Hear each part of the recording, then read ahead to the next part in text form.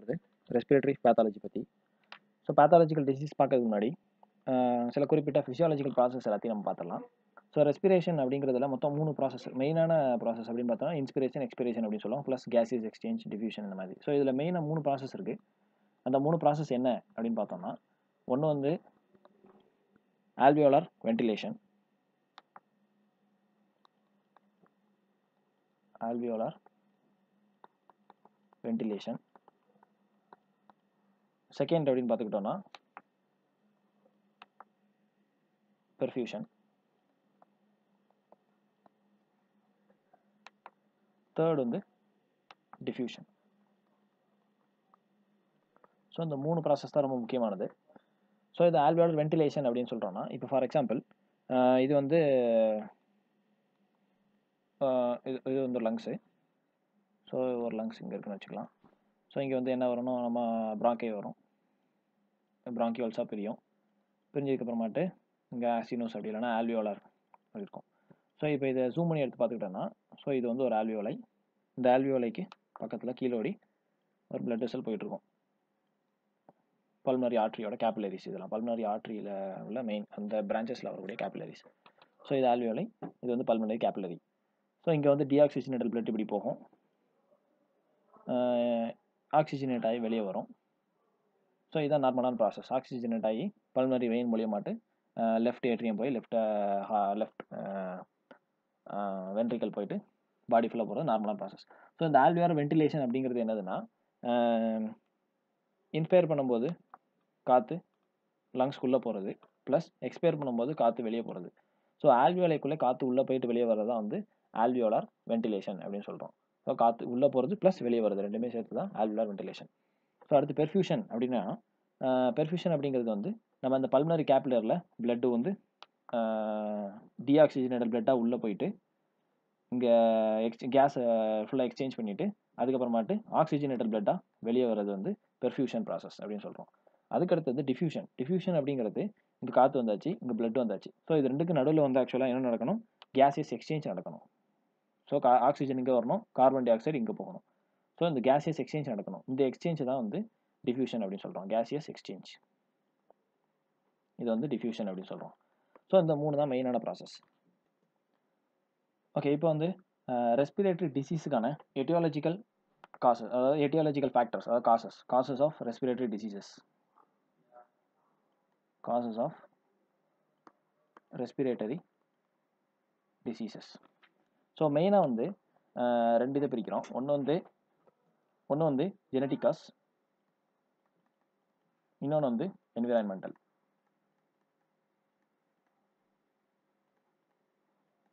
So அந்த genetic காசஸில் ரெண்டு எக்ஸாம்பிளுக்கு பார்த்துக்கிட்டோன்னா ஜெனட்டிக் காஸ் எக்ஸாம்பிள் ஒன்று வந்து cystic fibrosis cystic fibrosis so cystic fibrosis அப்படிங்கிற என்ன டிசீஸ்னால் CFTR cystic fibrosis transmembrane protein அப்படின்னு சொல்லிட்டு ஒரு ப்ரோட்டீன் வந்து மியூட்டேஷன் ஆயிரும்.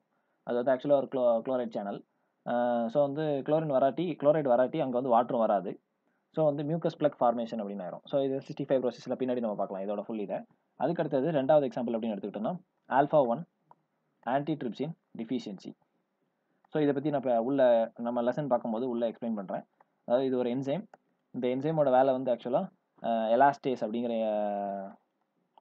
எலாஸ்டேஸ் அப்படிங்கிற ஒரு என்சைம் வந்து இன்ஹிபிட் பண்ணும் நார்மலாக ஸோ இந்த ஆல்ஃபான் ஒன் அப்படிங்கிறது டிஃபிஷியண்ட்டாக இருந்துச்சுன்னா இந்த எலாஸ்டேட்டை இன்ஹிபிட் பண்ண முடியாது. ஸோ என்னாகும்? இந்த டிஃபிஷியன்ட் ஸ்டேட்டில் எலாஸ்டேஸுங்கிறது இன்க்ரீஸ் இன்க்ரீஸ் அமௌண்ட்டில் இருக்கும் எலாஸ்டேஸ். ஆக்சுவலாக இந்த எலாஸ்டேஸ் அப்படிங்கிற என்சைம் என்ன பண்ணுன்னா அதிகமாக இருக்கிறதுனால எலாஸ்டின் அப்படிங்கிற ப்ரோட்டீனை வந்து டிக்ரேட் பண்ண ஆரம்பிச்சிடும் எலாஸ்டின் டீக்ரேடேஷன் ஸோ இதனால நிறைய பேத்தாலஜிகள் வரும். இது மெக்கானிசமாக பின்னாடி பார்க்கலாம். அது போக சம் டைப் ஆஃப் ஆஸ்துமா இது ஜெனட்டிக் காசஸ் அடுத்தது என்விரான்மெண்டல் அப்படின்னு பார்க்கும்போது இதில் ஆக்சுவலாக வந்து மெயினாக நாலு இது நாலு இது குரூப் கொண்டு வரலாம். ஒன்று என்ன அப்படின்னு பார்த்துக்கிட்டோன்னா ஒன்று வந்து ஸ்மோக்கிங் ஸ்மோக்கிங் சிகரெட் ஸ்மோக்கிங்னால வரக்கூடியது. ரெண்டாவது வந்து ஏர் பொல்யூஷன் ஏர் பொல்யூஷன் அடுத்தது மூணாவது occupational diseases occupational lung diseases அடுத்து நாலாவது எடுத்துக்கிட்டோன்னா இன்ஃபெக்ஷன்ஸ் ஸோ எக்ஸாம்பிள் ஸ்மோக்கிங் வந்து smoking can lead to chronic bronchitis emphysema இந்த மாதிரி. இது பின்னாடி பேத்தாலஜி மெக்கானிசம் பின்னாடி பார்க்கலாம். Air pollution chronic bronchitis infections air pollution நல்லா கூடியது ஆக்குபேஷனல் டிசீசஸ் அப்படின்னு பார்த்துக்கிட்டோன்னா நியூமோகோனியோசிஸ் நியூமோகோனியோசிஸ் சிலிகோசிஸ் ஆஸ்பெஸ்டோசிஸ் இந்த மாதிரி டிசீசஸ் இன்ஃபெக்ஷன் அப்படின்னா நிமோனியா டிபி இந்த மாதிரி. ஸோ இது வந்து ஒரு ஒரு causative agents of respiratory diseases ஓவராலாக பார்க்கும்போது.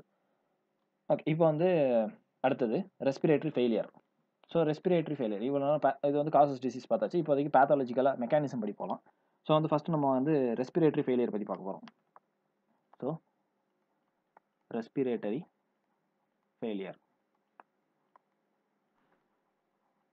oh sorry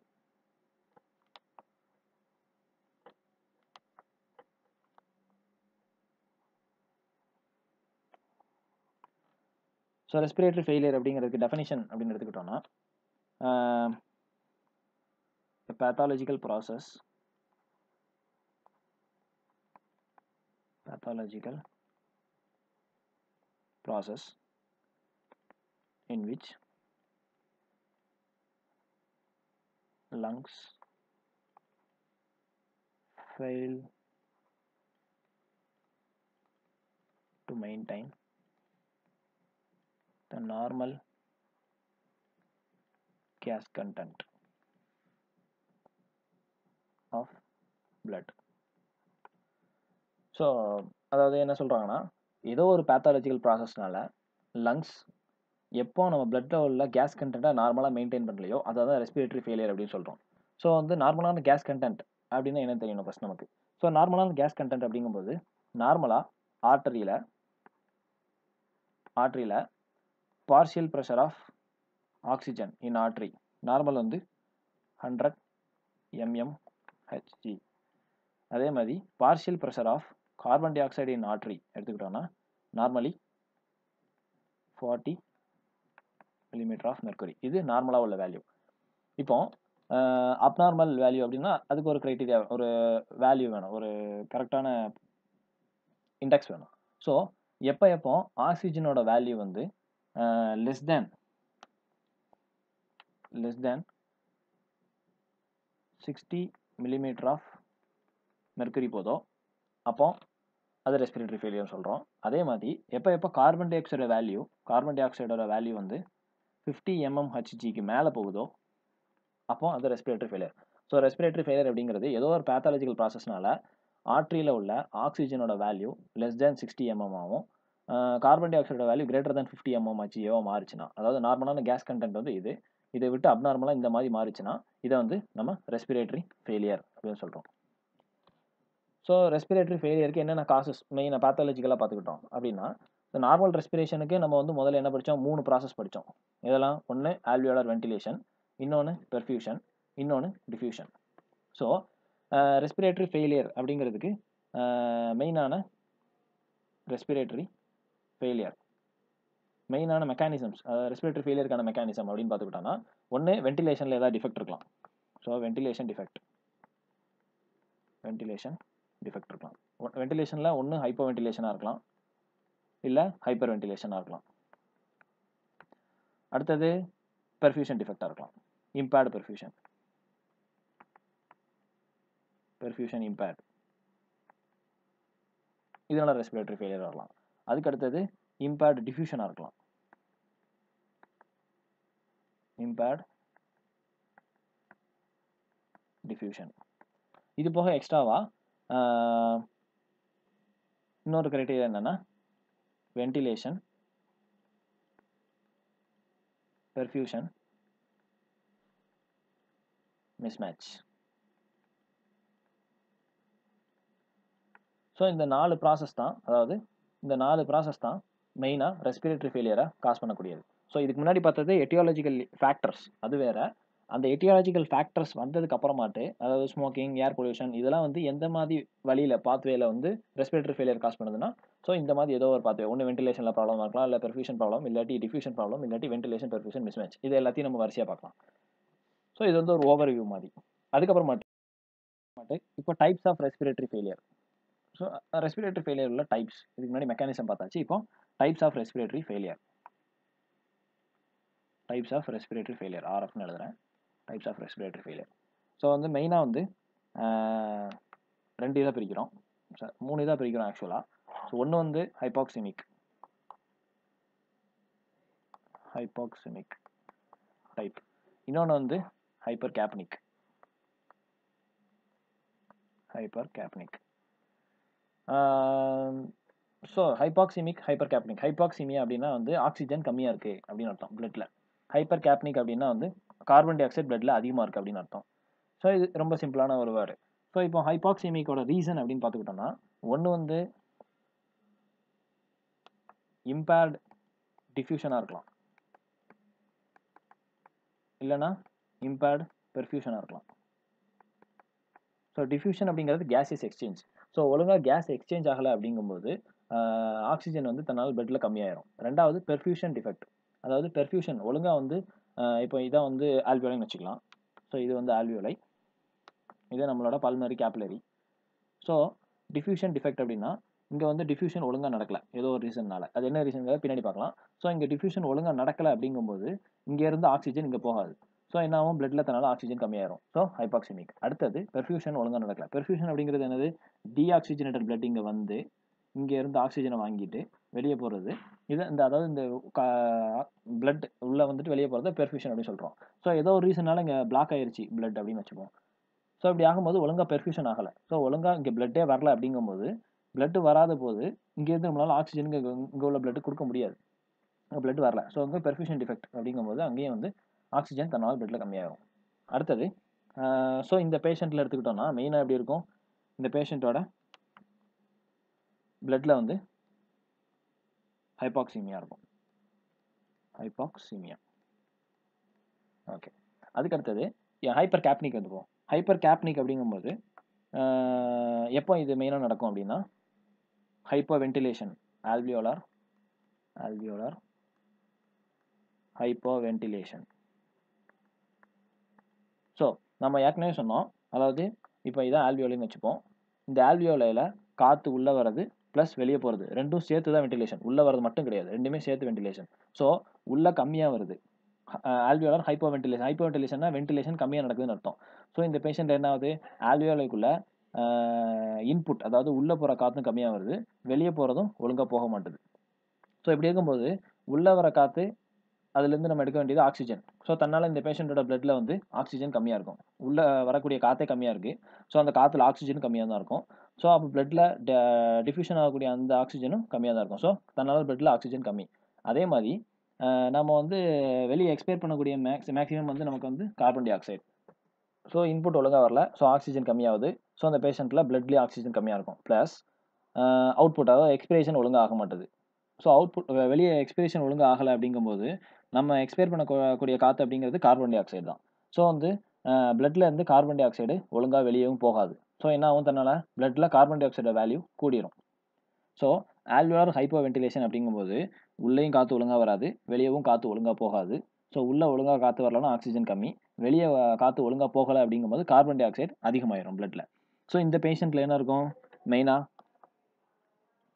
hypoxemia hypoxemic plus hyper hypercapnic hyper இந்த பேஷண்ட்டில் இப்படி இருக்கும். ஆனால் மெயினாக நம்ம பார்க்கக்கூடியது வந்து எந்த ஒரு டிசீஸாக இருந்தாலும் கொஞ்சம் லேட்டஸ்ட் ஸ்டேஜஸில் வந்து மிக்சடு டைப் தான் ரொம்ப common mixed type mixed type ரொம்ப காமனாக இருக்கும்.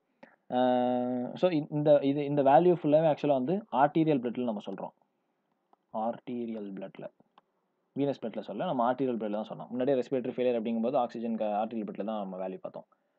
ஸோ இது வந்து டைப்ஸ் ஆஃப் ரெஸ்பிரேட்டரி ஃபெயிலியர் இதுக்கப்புறமாட்டு ஸோ இப்போ வந்து நம்ம இந்த ரெஸ்பிரேட்டரி ஃபெயிலியருக்கான மெக்கானிசம்ஸ் இருக்கக்கூடிய எல்லா மெக்கானிசம்ஸையும் பார்க்கலாம்.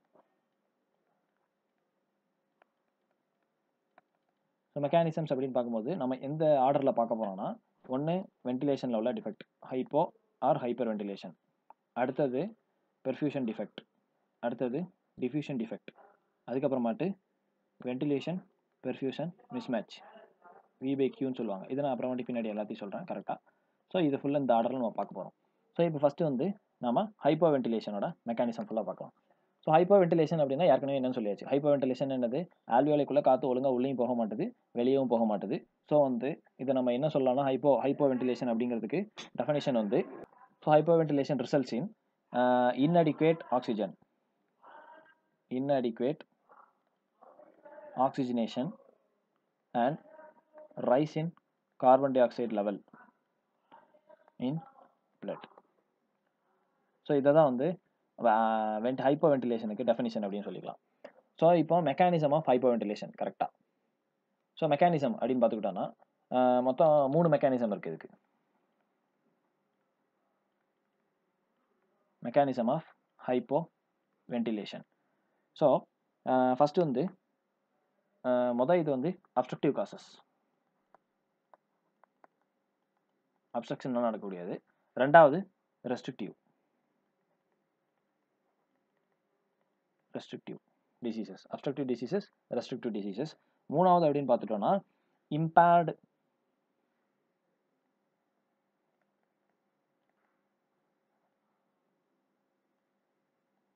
respiratory respiration regulation okay இப்போ ஃபஸ்ட்டு இது நம்ம பார்த்துக்கலாம். இது ரொம்ப ஈஸியான கான்செப்ட் அதாவது இம்பேர்ட் ரெஸ்பிரேஷன் ரெகுலே அதாவது ரெஸ்பிரேஷனை ரெகுலேட் பண்ணக்கூடிய மெக்கானிசமில் ஏதோ இம்பேர்மெண்ட் இருக்குது ஸோ நார்மல் ரெஸ்பிரேஷன் எப்படி நடக்கும் அப்படிங்கிறத நம்ம ஃபிசியாலஜிக்கல் வீடியோவில் அப்புறம் ஃபிசியாலஜி வீடியோவில் பார்க்கலாம். இப்போதைக்கு ஒரு ஓவர் வியூ மாதிரி அப்படின்னு கொடுத்துட்டோம்னா இப்போ இதான் வந்து லங்ஸ்னு வச்சுக்கலாம். ஸோ இது வந்து லங்ஸ் இது லங்ஸு இங்கே வந்து சிஎன்எஸ் இருக்குது சிஎன்எஸ் இருக்குது medulla oblongata pons spinal cord எல்லாமே இருக்குது ஸோ இங்கே வந்து ரெஸ்பிரேட்டரி சென்டர் இருக்கும்.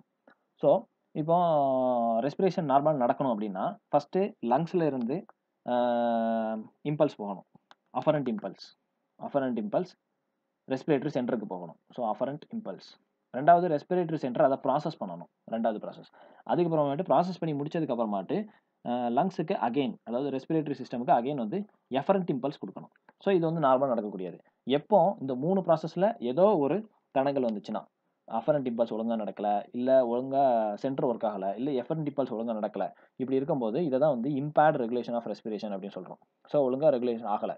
அதுதான் வந்து இம்பேர்ட் ரெகுலேஷன் இது ஒரு மெயினான காஸ் இது ஒரு காஸ் ஆனால் இது நம்ம ரொம்ப அதிகமாக இதை பற்றி படிக்க மாட்டோம். இப்போதைக்கு அப்ஸ்ட்ரக்ஷன் ரெஸ்ட்ரிக்டிவ் பற்றி தான் நம்ம அதிகமாக படிப்போம்.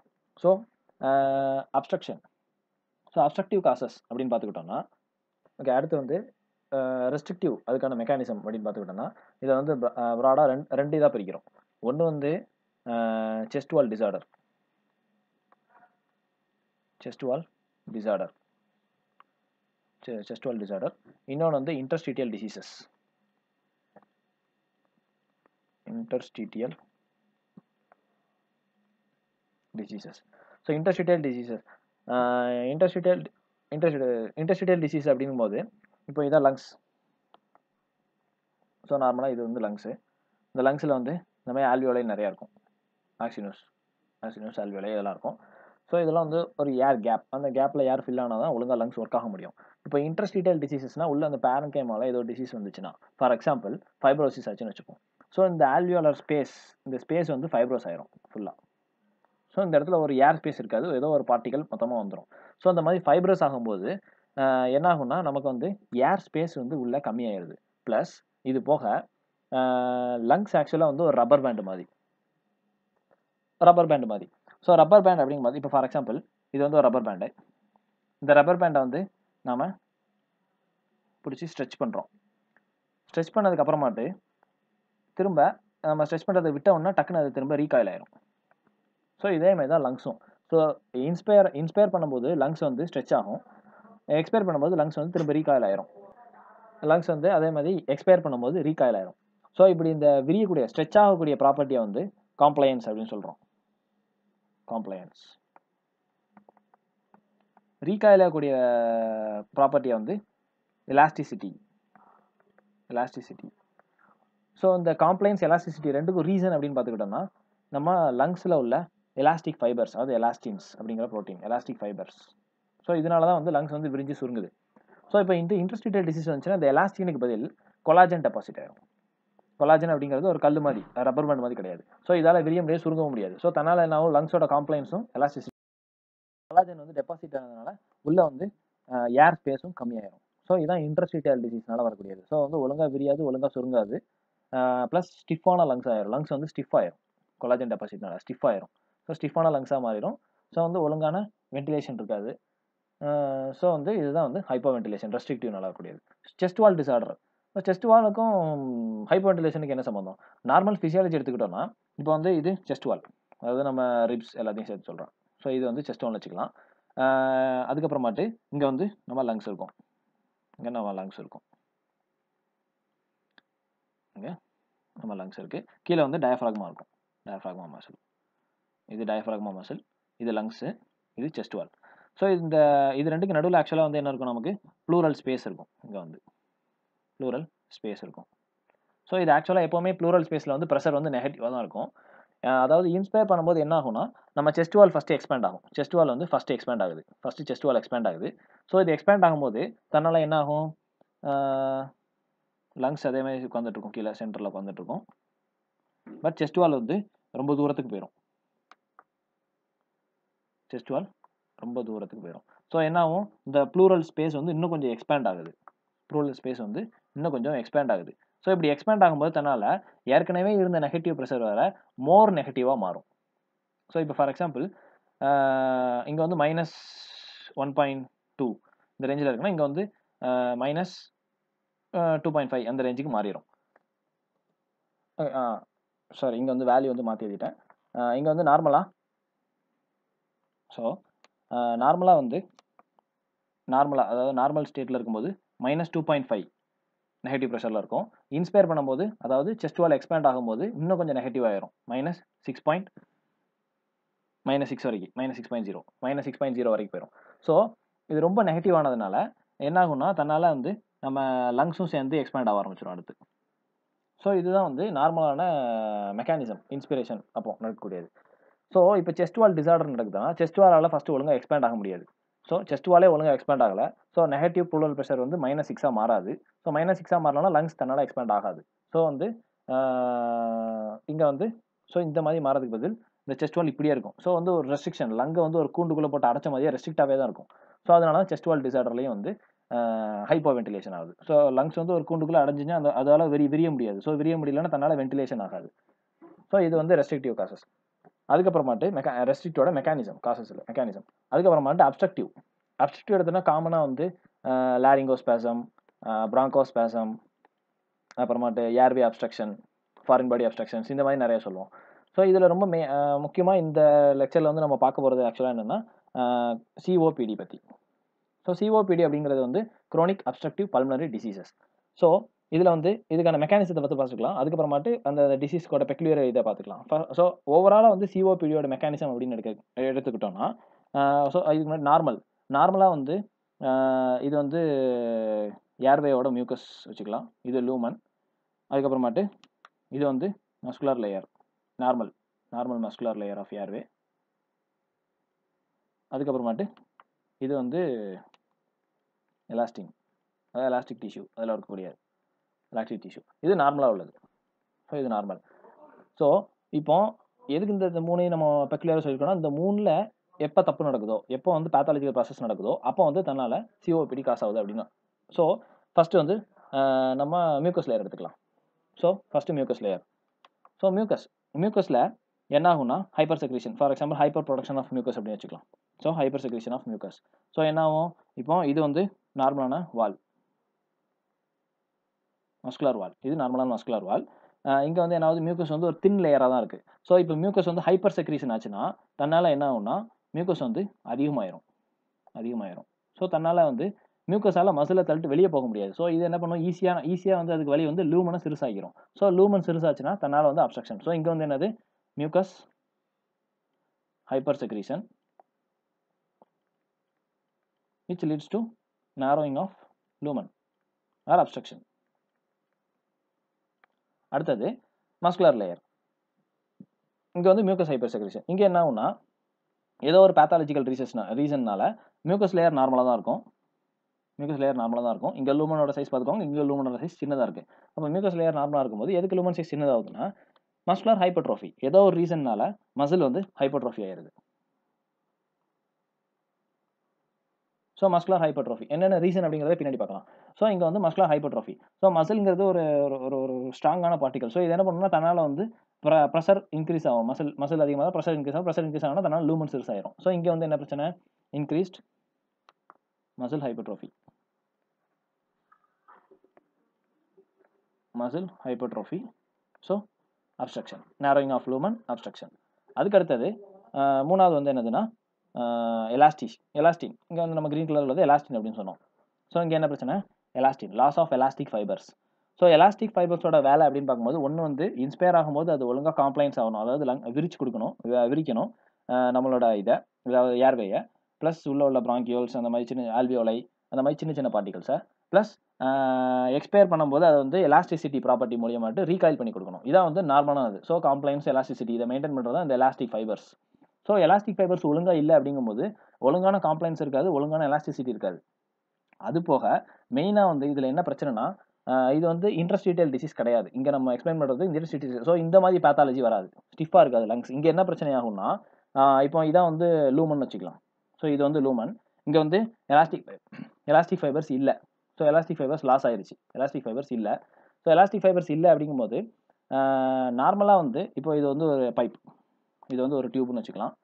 இந்த டியூபுக்குள்ளே வேகமாக வந்து காற்று வேகமான காற்றை வந்து ஃபோர்ஸாக இது வந்து ரொம்ப ஃப்ளெக்சிபிளான பைப் ஒரு பாலித்தீன் கவர் மாதிரி ஃப்ளெக்சிபிளான பைப்பு ரொம்ப வேகமாக இதில் காற்று ஊதுரும். ஸோ ஏற்கனவே ஒரு லா உண்டு. Speed is inversely proportional to pressure அதாவது velocity is inversely proportional to pressure அப்படின்னு சொல்லுவோம். ஸோ இந்த லூமனில் ரொம்ப வேகமான காற்று போச்சுன்னா அதாவது வெலாசிட்டி அதிகமாக இருந்துச்சுன்னா தன்னால் இந்த லூமனோட ப்ரெஷர் கம்மியாயிரும். ஸோ வெலாசிட்டி வெலாசிட்டி வந்து அதிகமாக இருக்குது எங்கே? லூமனில் ஸோ தன்னால் லூமனோட ப்ரெஷர் வந்து கம்மியாயிரும். In decreased pressure in lumen so இங்கே ப்ரெஷர் கம்மியாச்சுன்னா தன்னால் இந்த வால் வந்து பாலித்தீன் கவர் மாதிரி தானே. ஸோ வந்து என்ன ஆகும்? தன்னால் இந்த வால் வந்து உள்ளே பார்த்து கொலாப்ஸ் ஆக ஆரம்பிச்சிடும் ப்ரெஷர் கம்மியாக இருக்கிறதுனால. ஸோ இதை இதை இதை வந்து தடுக்கிறது இந்த மாதிரி த- ஆகாம இருக்க தடுக்கிறது தான் இந்த எலாஸ்டிக் ஃபைபர்ஸ் இது என்ன பண்ணுவோம்னா எலாஸ்டிக் ஃபைபர்ஸ் இந்த மாதிரி பிடிச்சி ஸ்ட்ரெச் ஆகி நின்றுருக்கும். ஸோ ஒரு அளவு தான் சுருங்க விடும் ஒரு அளவுக்கு மேலே சுருங்க விடாது. ஒரு அளவு தான் ரீகால் ஆகும். நார்மல் லெவலுக்கு தான் ரீகால் ஆகும். ஸோ அதை விட அதிகமாக ரீகாலே கொலாப்ஸ் ஆகாது. இது வந்து நார்மலாக எலாஸ்டிக்காக எலாஸ்டிக் வந்து வேலை பார்க்கக்கூடியது. எலாஸ்டிக்கோட வேலை எலாஸ்டிக் ஃபைபர்ஸோட வேலை. ஆனால் இங்கே என்ன ஆகுது? எலாஸ்டிக் ஃபைபர்ஸ் இல்லை நமக்கு. மூணாவது கண்டிஷனில் ஸோ எலாஸ்டிக் ஃபைபர்ஸ் இல்லை அப்படிங்கும்போது என்ன ஆகும்னா இந்த லூமன் அதாவது இந்த டியூப் வந்து அதாவது நம்ம ஏர்வே ஏர்வே வந்து என்ன ஆகும்னா ஃபுல்லாக கொலாப்ஸ் ஆயிரும். ஸோ கொலாப்ஸ் ஆகி மொத்தமாக லூமன் வந்து சின்னதாயிரும். இது ஃபுல்லாக அப்படி மியூக்கஸ் வந்து இப்படி இருக்கும். இங்கே வந்து நம்ம மசில் இருக்கும். இங்கே எலாஸ்டிக் கிடையாது. ஸோ இந்த மாதிரி ரொம்ப சின்ன லூமனாக மாறிடும் ஸோ இதான் வந்து mechanism of COPD so diseases இதை வந்து அடுத்த வீடியோவில் பார்த்துக்கலாம். டிசீஸ் சிஓபிடிக்கு அடியில் என்னென்ன டிசீசஸ் வருது? அதாவது ஃபர்ஸ்ட் வந்து ஆஸ்துமா வரும். ஆஸ்துமா பார்ப்போம். அதுக்கப்புறம் குரோனிக் bronchitis பார்ப்போம். அப்புறம் எம்ஃபைசிமா இதோட பேத்தாலஜி என்னது? இதுக்கான மெக்கானிசம்ஸ் என்னது? அதாவது இது இது வந்து மெயினான மெக்கானிசம் இது இந்த டிசீஸான காசு என்னது? எல்லாத்தையும் அடுத்த இதில் பார்க்கலாம். ஸோ இப்போ வந்து நம்ம சிஓபிடி பார்க்க போகிறோம் chronic obstructive pulmonary diseases so இப்போ இந்த சிஓபிடி பார்க்கறதுக்கு முன்னாடி இதில் ஆக்சுவலாக வந்து ஒரு வேல்யூ உண்டு. முன்னாடியே சொல்கிறேன் அது எக்ஸ்பிளைன் வந்து பின்னாடி கொடுக்குறேன். F EV one by FVC அப்படின்னு சொல்லுவாங்க. அதாவது forced expiratory volume in one second by forced ventilatory capacity இந்த சிஓபிடி பேஷண்ட்டில் ஆக்சுவலாக இந்த ரேஷியோட வேல்யூ வந்து லெஸ் தேன் செவன் பாயிண்ட் செவனாக இருக்கும். அதாவது less seventy percent less than seventy பர்சன்டாக இருக்கும். இது இதோட எக்ஸ்ப்ளனேஷன் நான் பின்னாடி கொடுக்குறேன். ஸோ இப்போ இதுக்கான மீனிங்லாம் நமக்கு தெரியும் ஆக்சுவலாக இந்த ஃபோ ஃபோர்ஸ்டு வைட்டல் கெப்பாசிட்டி அந்த வென்டிலேட்டரி கெப்பாசிட்டி என்ன ஃபோர்ஸ் எக்ஸ்பிரேட்டரி வால்யூம்னா என்ன அப்படிங்கிறதுக்கு நமக்கு வேல்யூ தெரியணும். ஸோ இது ஃபிசியாலஜிக்கலாக லங்ஸோட கெப்பாசிட்டி அதாவது volume of volumes of lung capacity of lung அப்படின்னு சொல்கிறோம் ஸோ வந்து நார்மலாக இது வந்து நம்ம லங்ஸ்னு வச்சுக்கலாம். ஸோ அந்த லங்ஸுக்கு வந்து ஆக்சுவலாக சில கெப்பாசிட்டிஸ் அண்ட் வால்யூம்ஸ் உண்டு.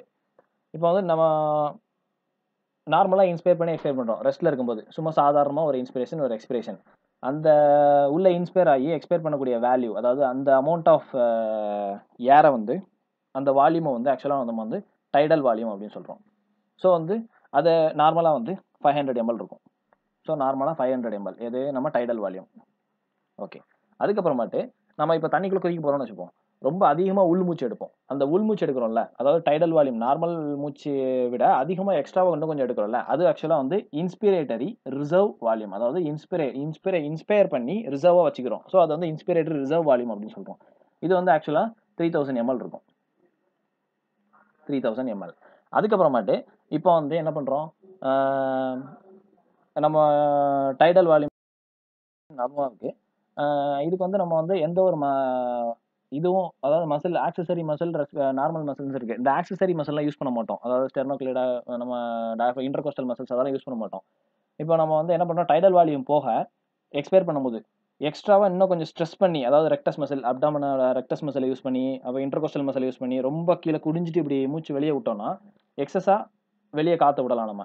ஸோ அதை வந்து அந்த வேல்யூ வந்து எக்ஸ்பீரியேட்டட் ரிசர்வ் வால்யூம் அப்படின்னு சொல்கிறோம் இதோட நார்மல் வேல்யூ அப்படின்னு எடுத்துக்கிட்டோம்னா தௌசண்ட் தௌசண்ட் எம்எல் ஸோ அப்போ இவ்வளோத்தையும் சொல்லியாச்சு. இது போக நமக்கு என்ன அடியில் இன்னொரு ஸ்பேஸ் வச்சிருக்கோமே இது என்ன அப்படின்னு பார்த்துக்கிட்டோம்னா இதை வந்து ரெசிடியூவல் வால்யூம் அப்படின்னு சொல்லுவோம்.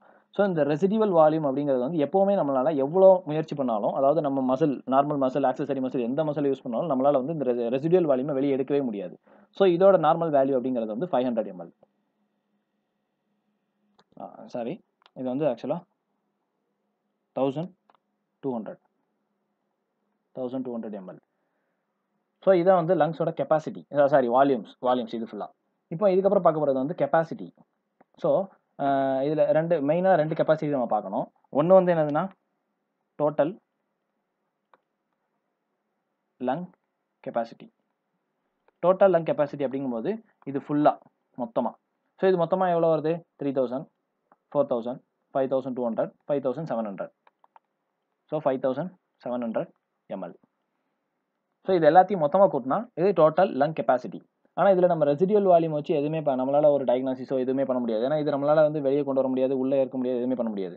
ஸோ நமக்கு மெயினாக வந்து ஆக்சுவலாக கிளினிஷியனாக இந்த மூணு தான் கிளினிக்கல் இதில் நம்ம இந்த மூணு தான் யூஸ் பண்ணுவோம். ஸோ இந்த மூணையும் சேர்த்தா நம்ம இதெல்லாம் அதாவது inspiratory reserve volume tidal volume plus expiratory reserve volume இதை மூணையும் சேர்த்தனா இதை தான் வந்து நம்ம வைட்டல் கெப்பாசிட்டி அப்படின்னு சொல்கிறோம் வைட்டல் இம்பார்ட்டண்டானது ஸோ வைட்டல் வைட்டல் கெப்பாசிட்டி அப்படின்னு சொல்கிறோம் இதெல்லாம் inspiratory reserve volume plus tidal volume plus expiratory reserve volume இது ஃபுல்லாக சேர்த்தா இதான் வைட்டல் கெப்பாசிட்டி அப்படின்னு சொல்கிறோம் ஸோ இப்போ இதை வச்சுட்டு நாம் பின்னாடி இந்த எஃபிசி அப்படின்னா என்ன? எஃப்இவி ஒன் அப்படின்னா என்ன அப்படிங்கிறத நான் பின்னாடி வந்து எக்ஸ்பிளைன் பண்ணுறேன் ஸோ இது வந்து ஃபிசியாலஜிக்கலாக உள்ளது.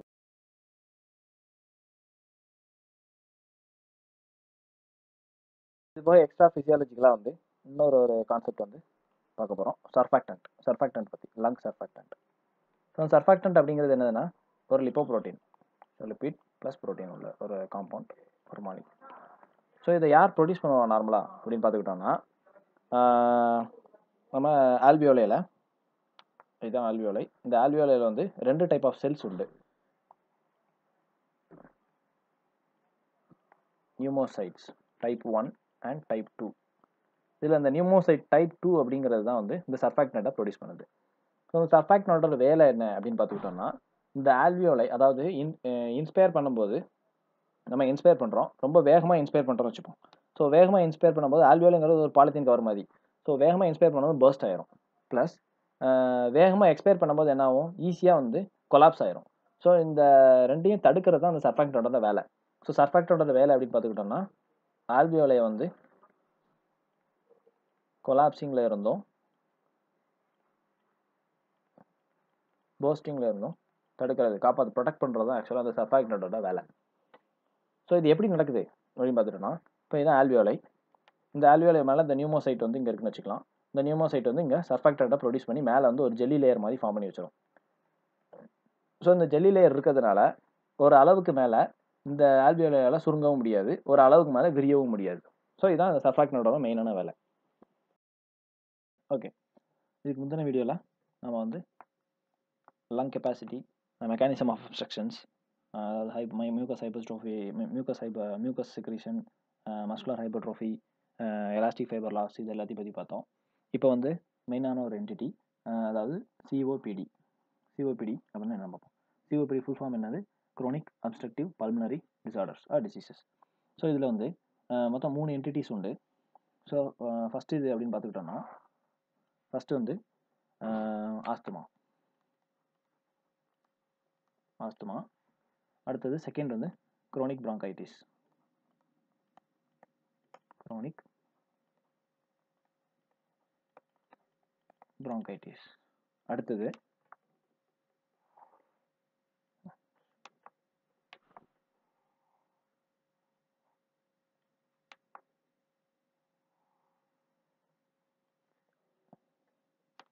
emphysema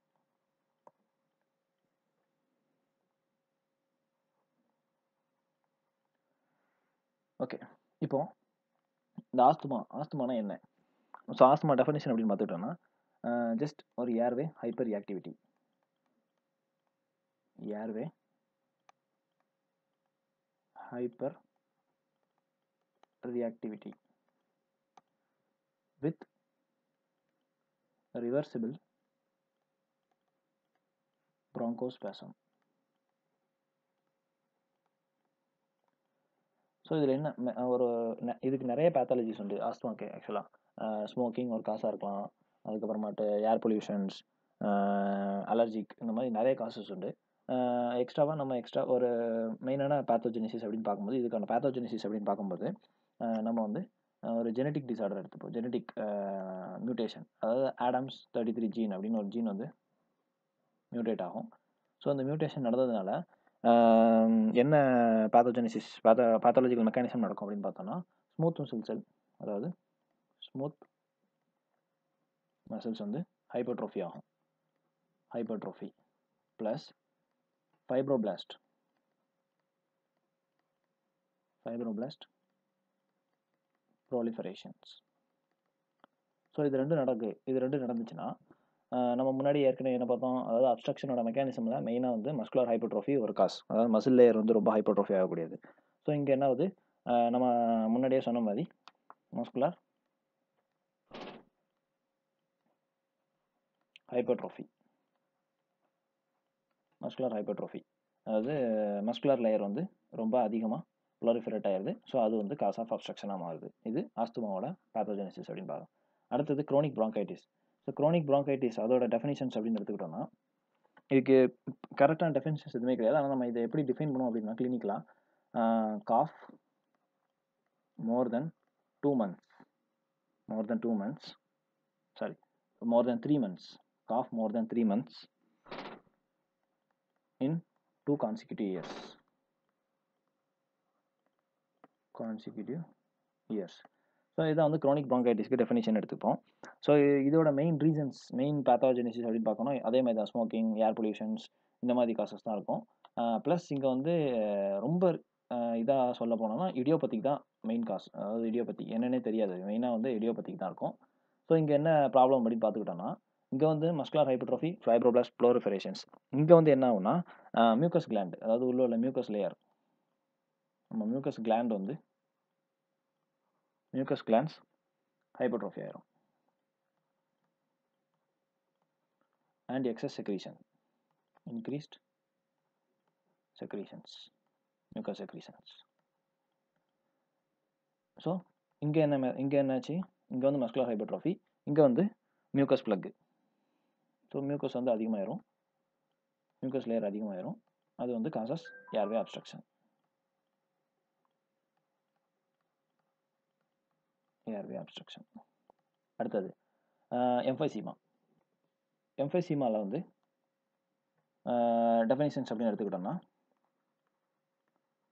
permanent dilatation of airway. Distal to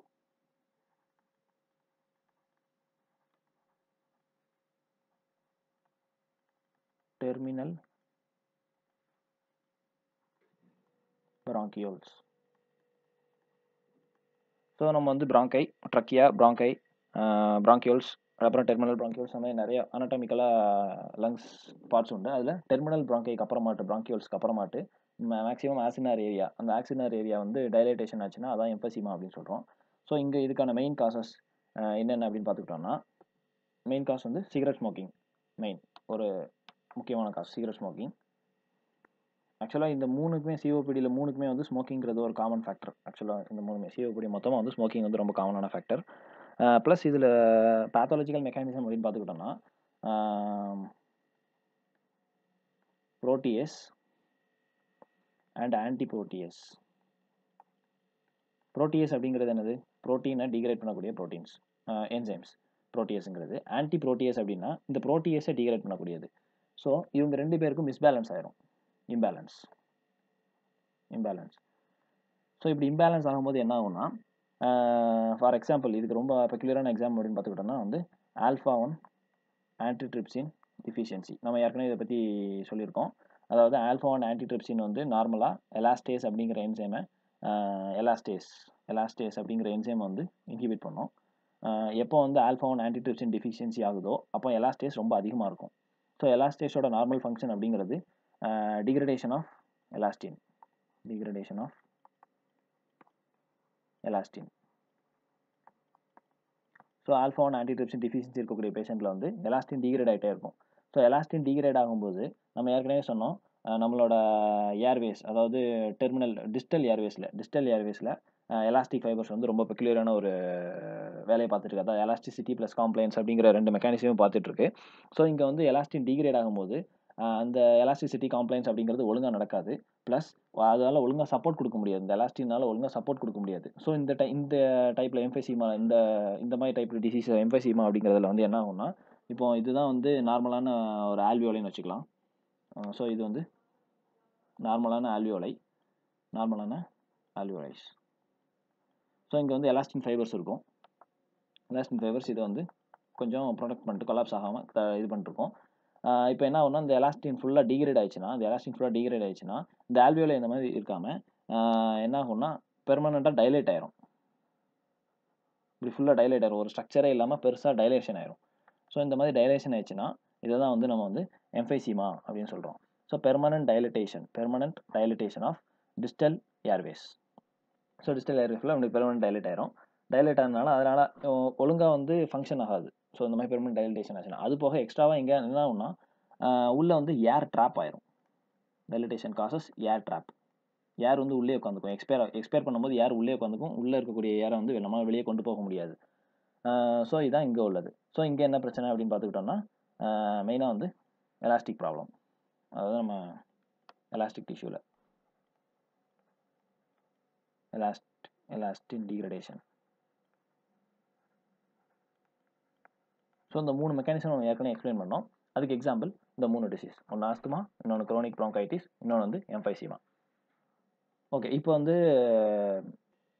இப்போ வந்து இந்த சிஓபிடி டிசீசஸில் நம்ம வந்து ஸ்பைரோமெட்ரி வச்சு பார்க்கும்போது ஒரு முக்கியமான ஒரு வேல்யூ ஒன்று உண்டு. ஆக்சுவலாக வந்து FEV one by FVC ratio அப்படின்னு சொல்லுவாங்க.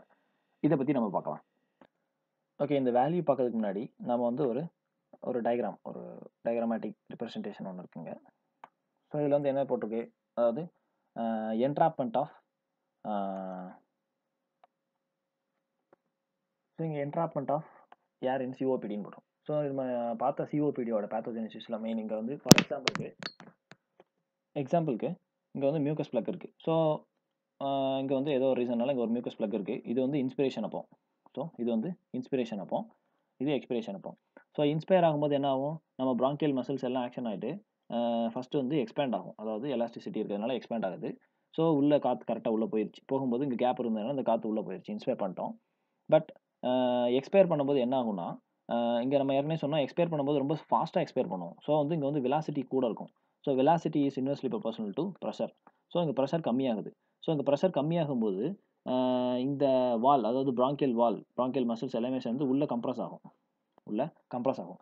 ஸோ அப்படி கம்ப்ரஸ் ஆகும்போது இந்த மியூக்கஸ் ப்ளக்குங்கிறது மூவ் ஆகாது. மியூக்கஸ் சாதாரண மியூக்கஸ் போது சீலேரி வந்து மூவ் பண்ணி விட்ரும் ஆனால் மியூக்கஸ் ப்ளக் ப்ளக் அப்படிங்கிறது ஒரு ஹார்டான பார்ட்டிகல் ஸோ இது வந்து சீலேரியால் மூவ் பண்ண முடியாது. ஸோ இங்கே என்ன ஆகும்னா இந்த மியூக்கஸ் ப்ளக் இருந்த இடத்துல அப்படியே இருக்கும்.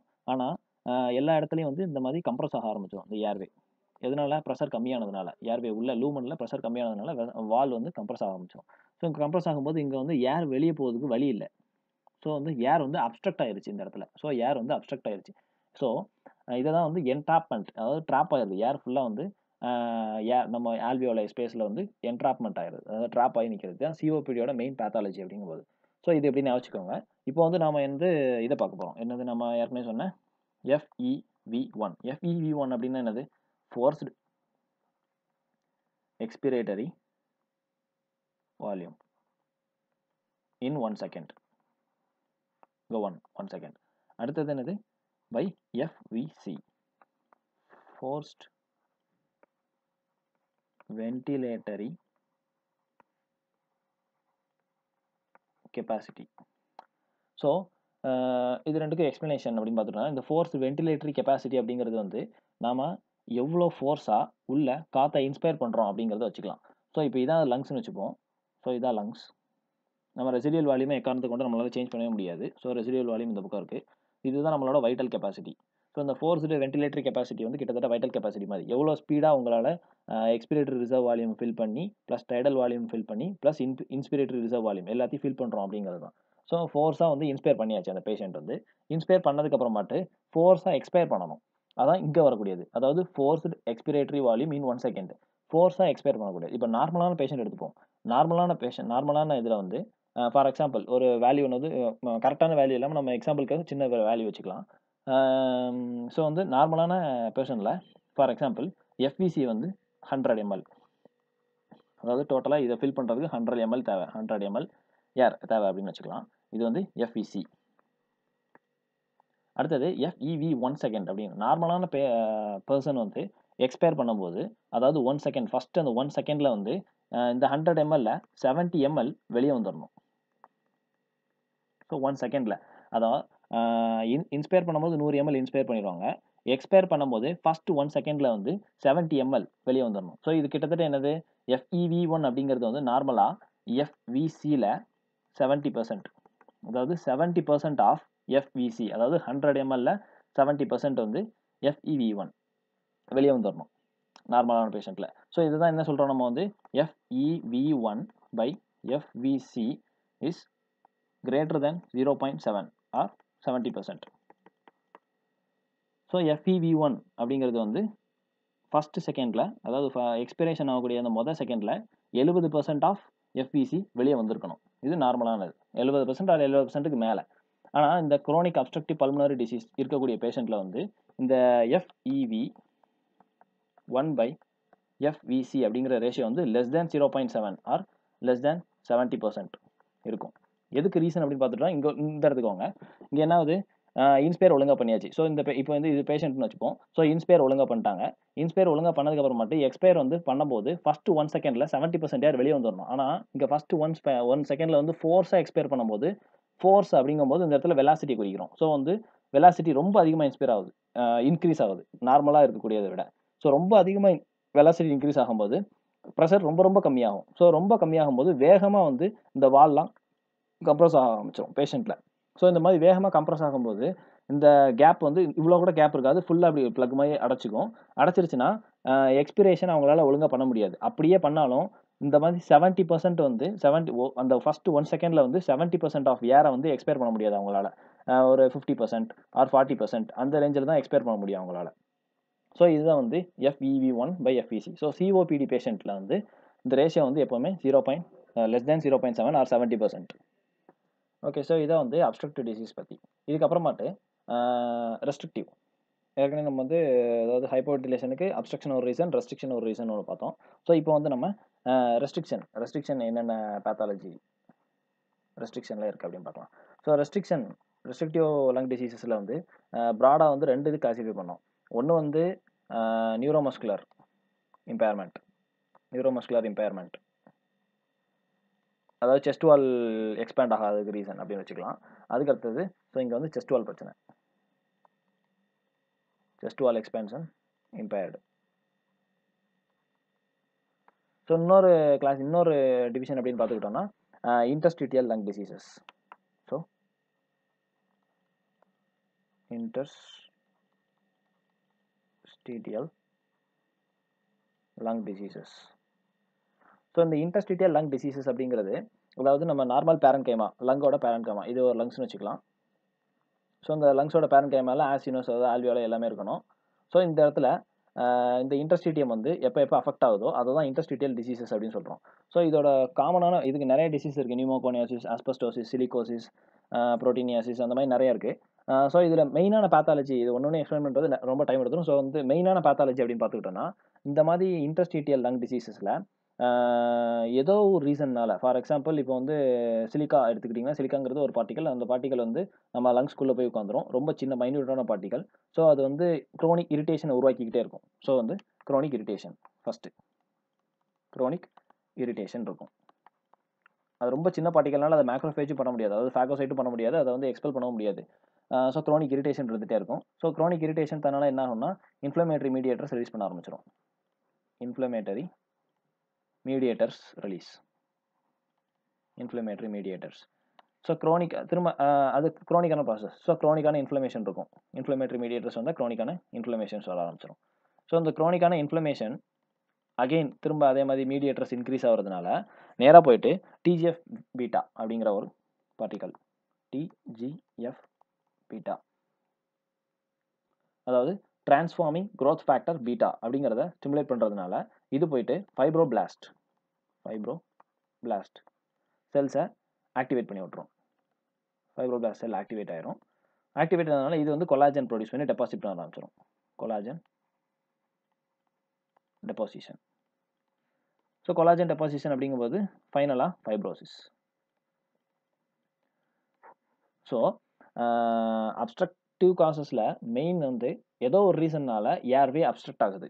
அப்ஸ்ட்ரக்டிவில் ரெஸ்ட்ரிக்டிவில் ஏதோ ஒரு ரீசன்னால ஃபைப்ரோஸ் ஆகி உள்ள உள்ள பேரண்ட் கேமே ஃபுல்லாக டிஸ்ட்ராய் ஆகிருது ஸோ இதுதான் ரெஸ்ட்ரிக்டிவில் உள்ள மெயினான பேத்தாலஜிக்கல் மெக்கானிசம் எந்த ஒரு டிசீஸாக இருந்தாலும் இதான் முக்கியமான ஒரு மெக்கானிசம் ஸோ இப்போ வந்து ஒரு காமனாக சும்மா ஒரு இது ப்ரீஃப் எக்ஸ்ப்ளனேஷன் மாதிரி.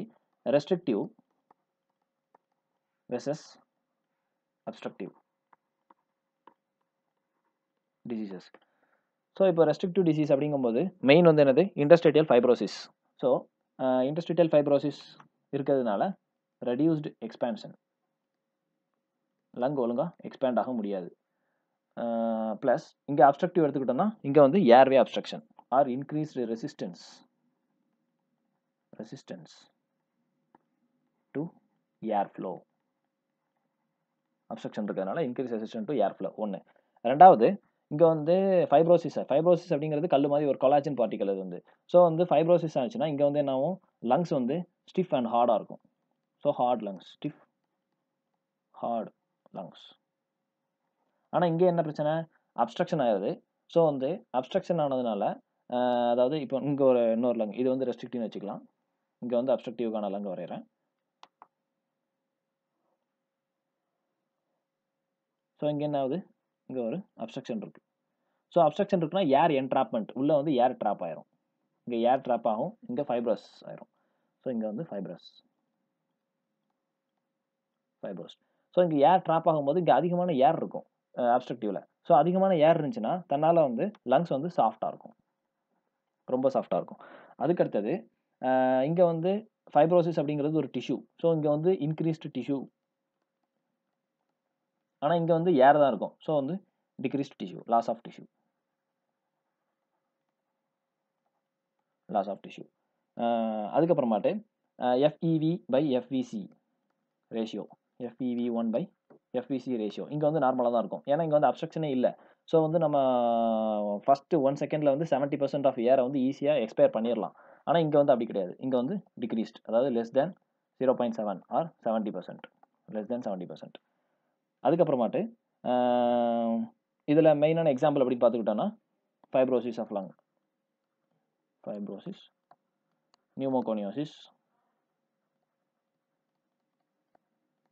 இது. இங்கே எக்ஸாம்பிள் அப்படின்னு பார்த்துக்கிட்டோன்னா COPD